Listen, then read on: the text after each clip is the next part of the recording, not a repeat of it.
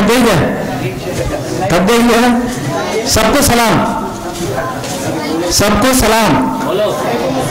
Very good आज दिनांक एकोणतीस अकरा दोन दोन हजार एकोणीस रोजी जिल्हा परिषद उर्दू वरिष्ठ प्राथमिक शाळा पणज या ठिकाणी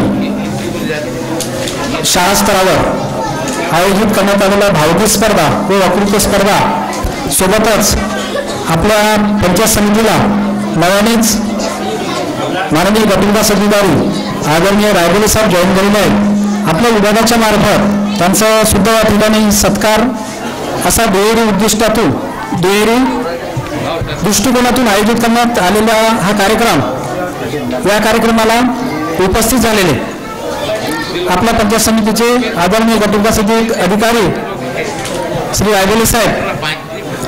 त्याचबरोबर या शाळेचे शाळा व्यवस्थापन समितीचे पदाधिकारी जमील भाई साहेब आजीम अली साहेब नासिर अली साहेब ज्यांनी हा कार्यक्रम आयोजित करण्यासाठी कारण मी सुद्धा शाळा स्तरावर काम केलेलं आहे. कार्यक्रम म्हटला की काय त्रास होतो हे मला माहिती आहे.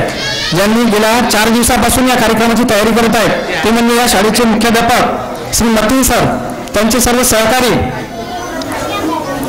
विद्यार्थ्यांचं मूल्यमापन करण्यासाठी या ठिकाणी आपल्या पंचायत समितीतून जज म्हणून उपस्थित झालेले हुसेन अहमद सर उच्च श्रेणी मुख्याध्यापक नवाडा यासिक नवेद सर काजी अतिक सर.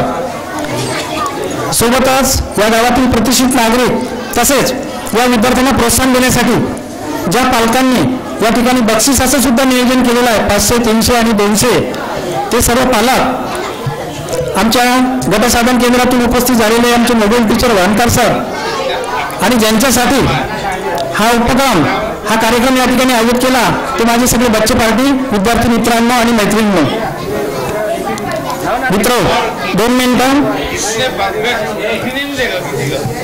का मी या शाळेमध्ये गेल्या एक वर्षापासून चौथ्यांदा आलेलो आहे. तीनदा जी भेट झाली ती भेट फक्त तक्रार निवारणसाठी होती.